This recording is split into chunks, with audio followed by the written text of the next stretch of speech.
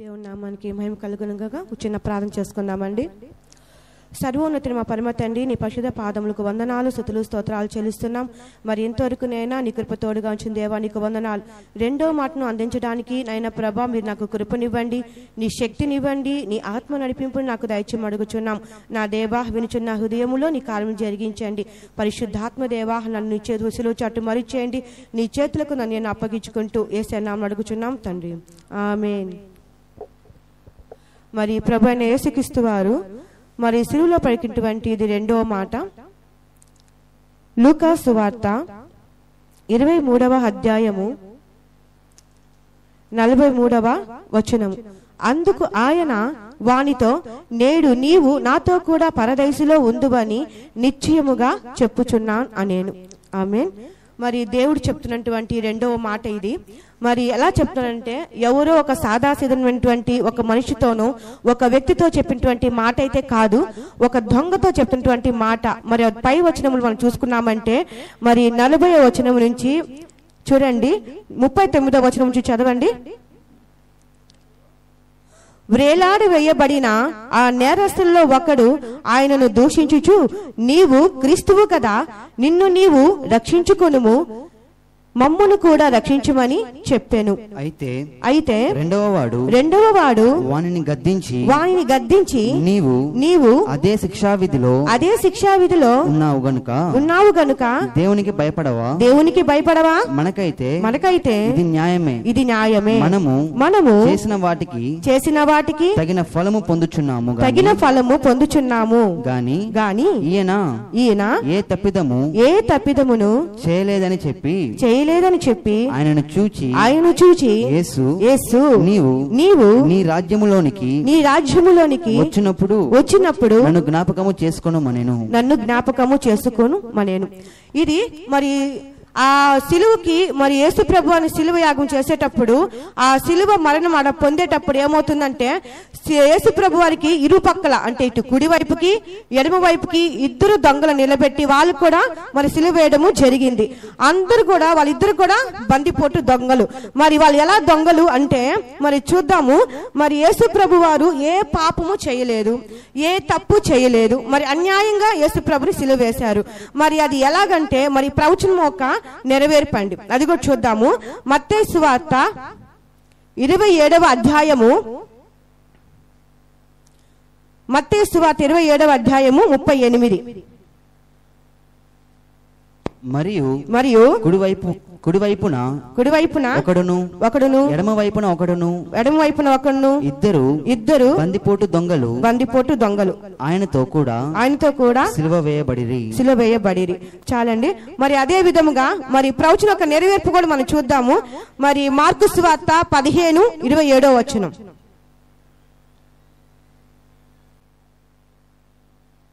మరియు మరియు కుడివైపున ఒకనిని కుడివైపున ఒకనిని ఎడమ వైపున ఒకనిని ఎడమ వైపున ఒకనిని ఇద్దరు బందిపోటు దొంగలను ఇద్దరు బందిపోటు దొంగలను ఆయనతో కూడా సిలువ వేసిరి. ఆయనకు ఆయనతో కూడా సిలువ వేసిరి. యశ్య యాభై మూడు మూడు చదవద్దండి టైం లేదు. యశ్య యాభై మూడు మూడులోను అలాగే కీర్తన గ్రంథము ఇరవై రెండు ఆరో వచనములోను ప్రవచనం యొక్క నెరవేర్పు. అంటే ప్రభు అయిన యేసుక్రీస్తు వారిని మరి ముందుగానే మరి భక్తులు ప్రవచించున్నారు. ఎలాగా? బందిపోటు దొంగల మధ్య యేసు ప్రభు వారిని సిలువ నెరవేరుస్తారు అన్నది ముందుగానే ప్రవచన ఒక వాక్ అది. అలాగే నెరవేర్చబడింది. మరి ఈ ఇద్దరు దొంగలు ఎలాంటి వారు? ప్రతి సంవత్సరము మనము చెప్పుకుంటూ ఉంటాము అసలు ఆ ఇద్దరు దొంగలు ఎవరు? ఆ ఇద్దరు దొంగల్లో ఒకటి మటుకు ఎందుకు మంచు దొంగ అని పేరు పొందుకున్నాడు? మరి మంచు దొంగ అయినప్పుడు ఎందుకు సిలువ వేశారు అతనికి? మనం చూద్దాం.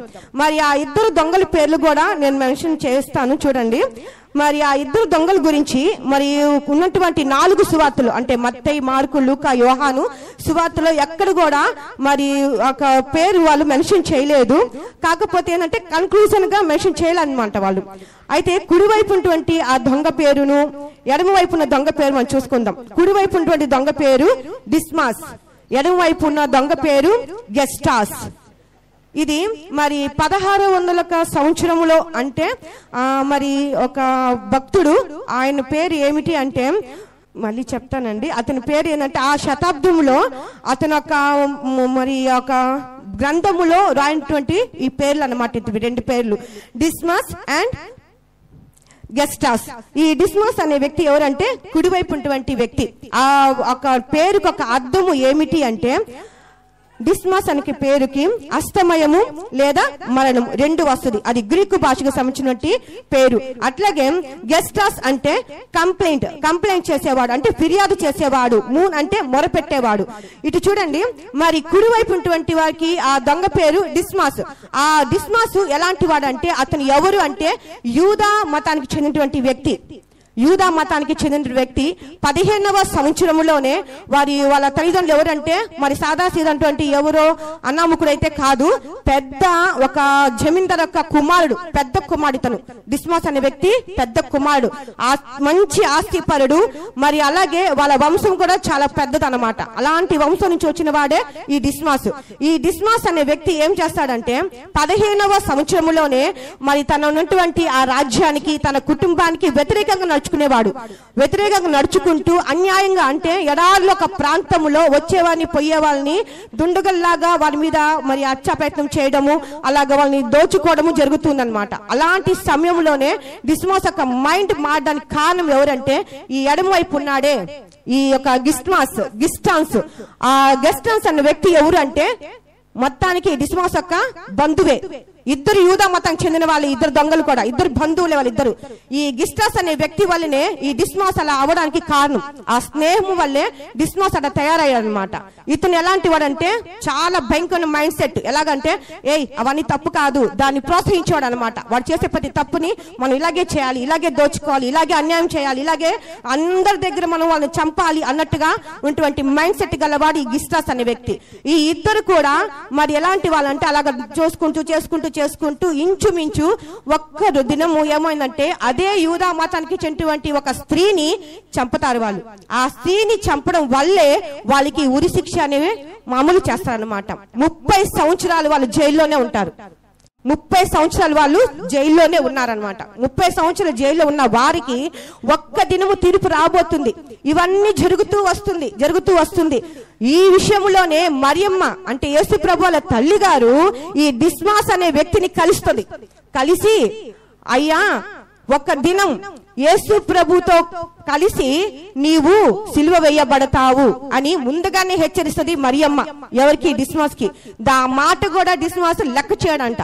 లెక్క చేయకుండా ఎట్టయితే అట్ట పోని అని చెప్పిన లెక్కలోకి అలాగా వెళ్ళడం జరుగుతుంది. ఆ తర్వాత ఆ యూదా మతానికి సంబంధించిన ఒక స్త్రీని అన్యాయంగా చంపడం వల్ల అదే విధముగా మరి ఇంకొక టర్కీ దేశానికో మరి ఇంకొక దేశానికి వెళ్తా వెళ్ళాలన్నమాట వాళ్ళు.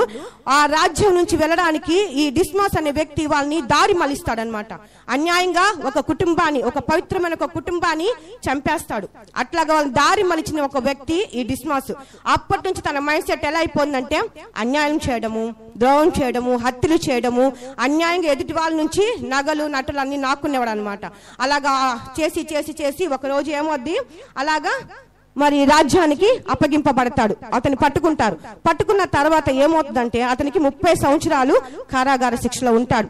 ఆ ముప్పై సంవత్సరాలు అయిన తర్వాత అంటే ఇంచుమించు ఒక ఫార్టీ ఫైవ్ ఒక ఫిఫ్టీ ఇయర్స్కి అంటే ఒక నలభై ఐదు యాభై సంవత్సరాల లోపు అంటే యేసు ప్రభు సిలువ వేసేటప్పటికి ఆ ఫిర్యాదు వచ్చేస్తుంది అనమాట ఎవరికి?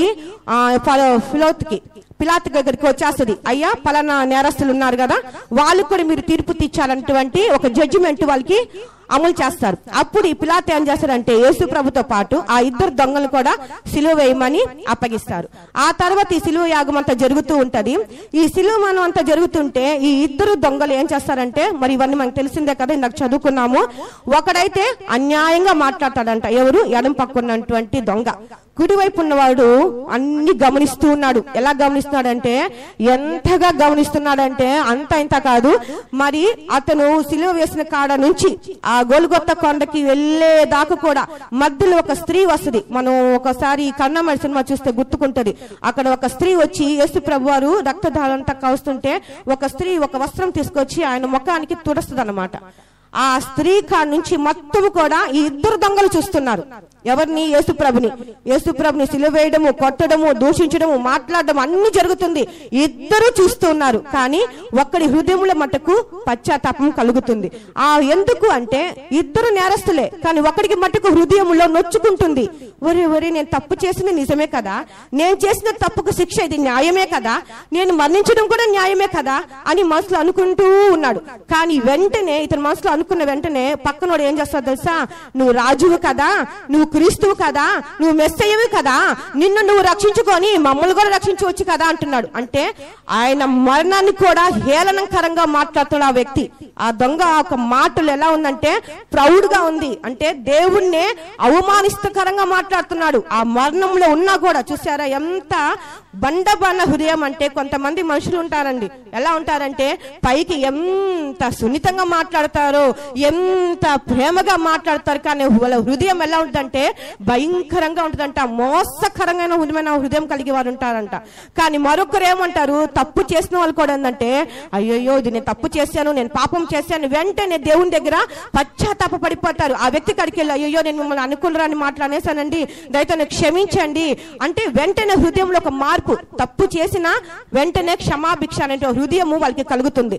కానీ ఈ వ్యక్తికి అలా లేదు. ఎవరికి? ఈ గెస్ట్ హౌస్ అనే వ్యక్తికి. అంటే ఎడవ వైపు ఉన్నటువంటి వ్యక్తికి.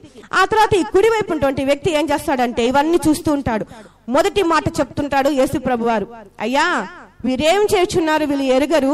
కాబట్టి వీళ్ళని క్షమించు తండ్రి అని ఒక మొదటి మాట అన్నప్పుడు ఆ మొదటి ఆ కుడివైపు దొంగ హృదయములు అంటే ఆ డిస్మాస్ అనే హృదయంలో ఉదయాన్నే వెంటనే ఒక హృదయంలో చలించిపోద్ది. ఏంది ఈయన? ఇంత ఘోరంగా శిక్షిస్తున్నా ఇంత అన్యాయంగా మాట్లాడుతున్నా ఇంత హేళన చేస్తున్నా కూడా ఈయన మౌనంగా ఉన్నాడే మౌనంగా దీనంగా అన్నిటిని భరిస్తూ ఉన్నాడే ఈయన. అసలు ఈయన నిజంగా మెస్సయ్యే అని హృదయములో స్వీకరించేస్తాడు యేసుప్రభుని వెంటనే ప్రభుత్వం అంటాడు అయ్యా మెసయ్యా నీవు నీ రాజ్యంలో వచ్చినప్పుడు నన్ను జ్ఞాపకము చేసుకో. వెంటనే ఇంత విత్ సెకండ్స్లో మాట ఇస్తున్నాడు యేసుప్రభు ఎవరికి? ఆ దొంగకి. అది ఎలా సాధ్యం? అంటే యేసుప్రభు పక్కనే ఉన్నాడనా? యేసుప్రభు గారు పక్కన సిలివేశారు కాబట్టి ఆయనకి ఆ మంచి వంశ వచ్చింది. అందుకే అతని హృదయంలో పశ్చాత్తాప పుట్టింది.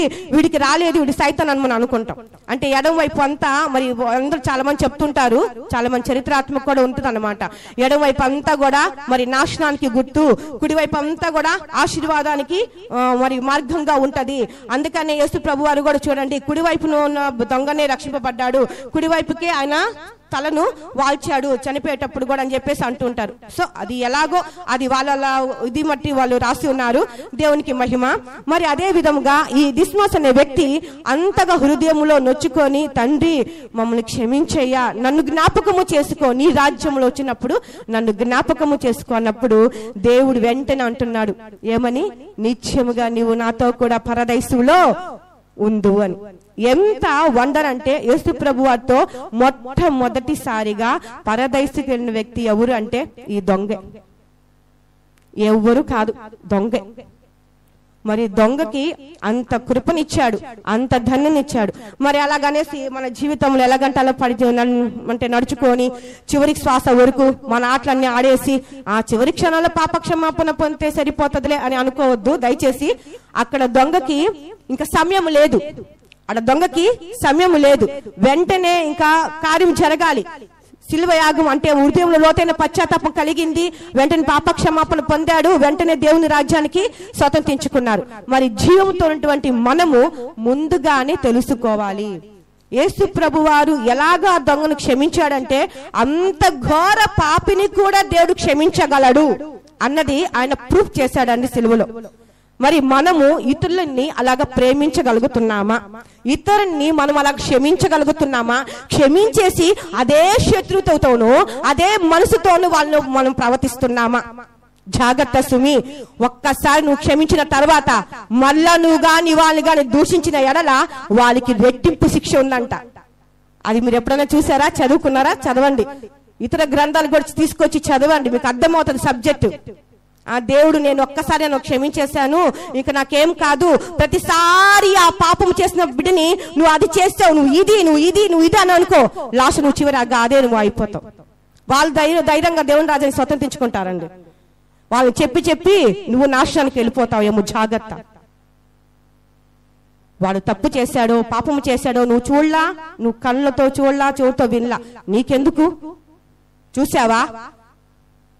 చూసిన వ్యక్తి ఇది నిజం ఇది నిజం అని పమ్మాలు చెప్తున్నప్పుడు వాళ్ళ మాటను తునీకరించి వాళ్ళ మీద నిందారోపణ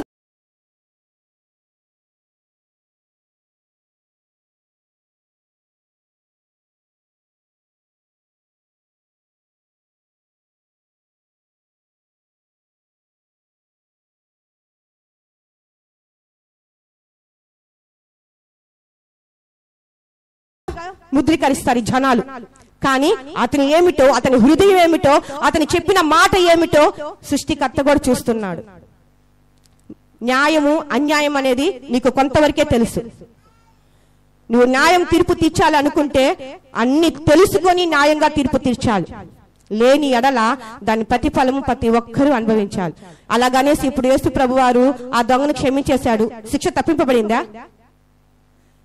శిక్ష తప్పింపబడలేదు కదా? శిక్ష పడింది. అది కూడా గుర్తుపెట్టుకోండి. క్షమించాడు ప్లస్ శిక్ష కూడా పడింది. మరణము పడింది. ఆ ఇద్దరు ఇద్దరు దొంగలు మరణించారంట. ఈ మోకాలు కింద ఈ మోకాల దగ్గరటువంటి అక్కడ పెద్ద పెద్ద సుత్తులు తీసుకొచ్చి వాళ్ళు ముందుగానే చంపివేయబడ్డారు. అంటే కొట్టారనమాట పెద్ద సుత్తులతో. అలా కొట్టినప్పుడు అంట మోకాలు ఇరిగిపోతే ఇంకా ప్రాణాలు పోతాయంట. అది సెన్సిటివ్ రీజన్ అనమాట అది. అదే విధంగా ఈ గెస్టెస్ అనే వ్యక్తి అంటే మూర్ఖంగా మాట్లాడు కదా నువ్వు దేవుడివా నువ్వు మెస్సయ్యవు కాదా? అంటే అతనికి మూర్ఖత్వం ఉందన్నమాట. ఆ మూర్ఖత్వం వల్ల ఏమవుతుందంటే అతను త్వరగా చనిపోలేదని ముమ్మార్లు భళ్ళంతో పక్కల గుణస్తారంట అతను. ముమ్మాలు పొడిచిన తర్వాత సుతితో కాలుతో పగలగొడతారంట. ఇలాగన్నీ జరుగుతుంది సో మనం ఎలా ఉండాలి? ఇప్పుడు ఆ డిస్మాస్ అనే వ్యక్తిని మనం చూసుకున్నాం. అతని పేరు మనం తెలుసుకున్నాం. మరి ఇన్ని సంవత్సరాలు నాకు కూడా తెలియదు మరి ఈ మధ్య కొన్ని బుక్స్ నేను స్టడీ చేసిన తర్వాత ఆ తర్వాత ఈ మధ్య ఒక డౌట్ వచ్చిందనమాట. దాని గురించి చాలా రోజులుగా నేను చూస్తున్నాను. చూసిన తర్వాత ఇది ఎలాగా అనేది నేను చాలా రోజుల నుంచి దాన్ని స్టడీ చేస్తూ వస్తున్నాను అనమాట నేను. అలా చేసిన తర్వాత యూట్యూబ్లో యూట్యూబ్లో కొన్ని ఛానల్స్ ఉన్నప్పుడు ఒకరు ఒకలా చెప్పారు ఇంకొకరు ఇంకోలా చెప్పారు. మళ్ళీ వీళ్ళిద్దరు ఏది నిజం ఏది అబద్ధం అని మళ్ళా వెతికాను. వెతికిన తర్వాత ఇది కఠోరంగా నిజమే. అంటే ఇంచుమించు యేసుప్రభు వారు ఒంటరిగా సిలువ వేయబడలేదు. అయ్యో ఒంటరిగా ఉన్నాడే నా కుమారుడని తండ్రి అయిన దేవుడు బాధపడలేదు. ఎవరైనా ఒక వ్యక్తిగా ఉంటే ఎవరికైనా బాధే కాదండి మనిషి తట్టుకోలేరు. పక్కన ఇంకొక వ్యక్తి ఉన్నప్పుడు మనం చూసినప్పుడు ఏమొద్దంటే ఆ నా పక్కన ఇంకొక వ్యక్తి ఉన్నాడు. నాకు హెల్ప్గా ఉంటాడేమో నాకు తోడుగా ఉంటాడన్న ఒక ఫీలింగ్ ప్రతి ఒక్కరికి వస్తుంటది. అదే విధంగా యేసు ప్రభు అని కూడా దేవుడు ఒంటరిగా వదలలేదు. మరి అందుకున్న ఏమో ఆ దొంగల్ని ముప్పై సంవత్సరాలు కారాగార శిక్ష అనుభవించినప్పుడు అదే దినం ఎందుకు సిలువేయబడమన్నారు మరి ఎందుకు వచ్చింది ఆ వార్త? సో ఆ విధంగా జరగడం దేవుని యొక్క చిత్తం. ఇలాగంతా జరిగిపోయింది. ఆ తర్వాత ఏం జరుగుతుంది అంటే మరి యేసు ప్రభు వారు సిలువ వేసిన వేసిన తర్వాత మరి మరియమ్మ అక్కడే ఉంది. ఈ డిస్మాస్ తల్లి కూడా అక్కడే ఉంది. ఇద్దరు ఆడే ఉన్నారంట. ఇద్దరు ఒకరినొకరు చూసుకుంటూ ఆ డిస్మాస్ కూడా ఒక మాట వదులుతున్నాడు అనమాట అక్కడ. అమ్మా నువ్వు ఎందుకు నన్ను చూస్తున్నావు? నేను మెస్సేను నమ్మాను. ఈ యూదాదేవుని నేను స్వీకరిస్తున్నాను. నా సొంత రక్షుడిగా నేను అంగీకరిస్తున్నాను. నేనైతే పరదేశకి వెళ్తున్నాను. ఆ గెస్టెస్ కోసం నువ్వు ప్రార్థన చేయని ఒకప్పుడు కూడా ఆ డిస్మాస్ అనే తల్లితో తను చెప్తాడంట. మరి ఈ విషయం మన బైబుల్ ఎక్కడ లేదు.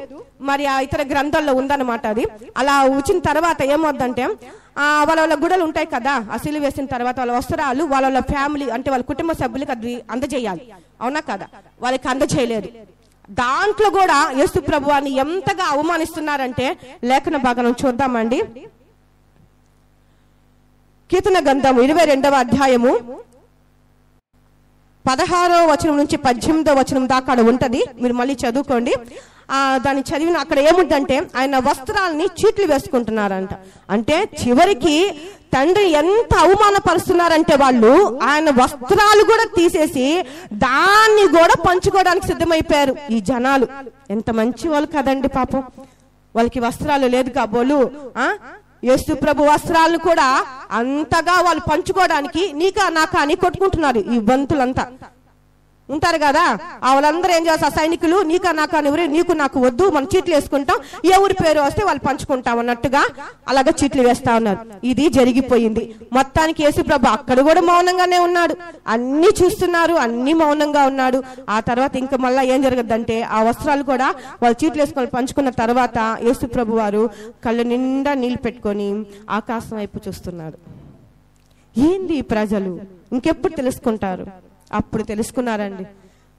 ఆయన ఎప్పుడైతే ఈ వస్త్రాలు వాళ్ళ చీట్లు వేసుకొని పంచుకున్నారో మేఘమంతా నలిపైపోయిందంట. చీకటి కమ్మేసింది. లోకమంతా చీకటి కమ్మేసింది. అప్పుడు అమ్మా ఈయన నిజముగా మెస్ అయ్యే ఈయన నిజంగా దేవుని కుమారుడే. నేను నమ్ముతున్నాను అని అప్పుడు నమ్ముతున్నారంట. ఎప్పుడు? ఈ శిక్ష వేసిన తర్వాత సిలువ వేసిన తర్వాత. అప్పుడు నీతిమంతుడు ఇతను ఏ పాపము చేయలేదు. ఇతను సత్యదేవుడు అని ఎప్పుడు నమ్ముతున్నారంట? సిలువ వేసినప్పుడు ఆయన బతుకున్నప్పుడు ఎవరు నమ్మలేదు. అపోసులు కూడా పారిపోయారు కదండి. యేసు ప్రభుని సిలివేసినప్పుడు యేసు ప్రభు శిష్యులు కూడా పారిపోయారు. ఎవరు లేరు అక్కడ. దూరంగా ఉన్నారు. దూరంగా ఉంటే అన్ని చూస్తా ఉన్నారు. ఆడ దగ్గర నుండి ఎవరు? ఆ ఇద్దరు బండిపోటు దొంగలు. అక్కడ ఉన్నటువంటి ప్రజలు ఆ మరి అమ్మ ఆడ నిల్చుకొని ఉందంట. ఒక శిష్యుడు ఇద్దరు శిష్యులు ఆడ నిల్చుకొని ఉన్నారు సిలువ దగ్గర. ఇంతమంది జనాలు ఏమైపోయారు? ఆయన బతుకున్నప్పుడు ఎన్ని కార్యాలు చూస్తుంటారు కళ్ళతో? ఎన్ని స్వస్థతలు జరుగుంటాయి? ఎన్ని సూచకలు వాళ్ళ జీవితాలు చూస్తుంటారు? ఆయన మాట ఇచ్చిన తర్వాత శతాధిపతి వాళ్ళ కుటుంబంలో ఆ యాజకుడికి ఆ దాసుడికి స్వస్థపరచలేదా దేవుడు? ఒక్క మాట. అయ్యా నీవు నా ఇంట్లోకి రావడానికి నేను ఏ పార్టీ వాడను? నువ్వు మాట మాత్రం సెలవిము నా దాసుడు బాగవుతాడు. ఒక్క మాట. దేవుడు నోటి నుంచి వచ్చు ప్రతి మాట అది నెరవేర్పు కలుగుతుంది ప్రతి ఒక్కరి జీవితంలో. మనం దానికి అన్వయంగా జీవితాలు నడుచుకోవాలి. సో మొత్తానికి ఇప్పుడు ఏమవుతుందంటే యేసు ప్రభు వారు సిలువలో మరి రెండవ మాట. ఈ రెండవ మాట ఏంటంటే పరదైసులో నీవు నాతో కూడా నిశ్చయముగా ఉండు. పరదైసు అసలు పరదైసు ఉందని ఎంతమందికి నమ్మకం ఉంది? నిజంగా పరలోకంగా ఉందా అని నన్ను ఒక ప్రశ్నించారండి మన ఈ మధ్య ఒకరే. నాకు అసలు ఏమీ అర్థం కాలేదు. ఏందమ్మా ప్రశ్న అని చెప్పి అడిగాను. అసలు నిజంగా పరలోకం ఉందా? యేసు ప్రభు వస్తాడని అడిగేసింది. మరి నువ్వు ఏ యొక్క నిరీక్షణతో నువ్వు ఉన్నావు? నువ్వు ఏ నమ్మకంతో దేవుణ్ణి నువ్వు ప్రార్థన చేస్తావు చెప్పి అడిగాను అనమాట నేను. అలా అడిగిన తర్వాత ఏమవుతుందంటే మళ్ళీ చెప్పాను అనమాట భలే దానివమ్మ. యేసు ప్రభు వారు ఒట్టి పాప క్షమాపణ ఓకే ఈ లోకంలో అయిపోయింది. చనిపోయిన తర్వాత మన ఆత్మకి ఏమిటి? ఎక్కడికి వెళ్ళాలి? దేవుడి కాడికే కదా పోవాలి? పరదాసికే కదా పోవాలి? పల్లొక రాజానికి దగ్గరికే కదా మనం ఉండాలి? అని అన్ని చెప్పిన తర్వాత అవునా అని ఒక మాట అనింది. బ్రతికిచ్చావు తల్లి అనుకున్నా నేను మనసులో. అంటే మన యొక్క మరణము తర్వాత ఉండేదే నిజమైన జీవితం. మనం ప్రాణముతో ఉన్నప్పుడే ప్రభు అయిన యేసుక్రీస్తు వారు చూపినటువంటి మార్గములో ఆయన చూపినటువంటి బాటలో మనం నడవాలి. అలా మనం అనుసరించాలి నడుచుకోవాలి. జీవితం అంతము వరకు అంటే మన ప్రాణము ఎప్పటి వరకు ఉంటుందో మనకు తెలియదు కదమ్మా. పత్త ఒకవేళ ఉండొచ్చేమో ఒకవేళ రేపే చనిపోవచ్చేమో. ఎవరికి జీ- జీవ మరణము యహోవా వశనం. ఆయన చేతిలో ఉంది. సో ప్రాణంతో ఉన్న మనము ప్రాణం ఉండగానే దేవుణ్ణి నమ్మాలి ఆయన చెప్పినటువంటి మాటలను అనుసరించి మన ప్రాణం పొయ్యే వరకు నమ్మకంగా ఉండి మనల్ని మన దేవుని చేతికి అప్పగించుకునే వారముగా మనం ఉందాం సో ఇవన్నీ మరి దేవుని నామములో ఈ వాక్యము దీవించబడుగాక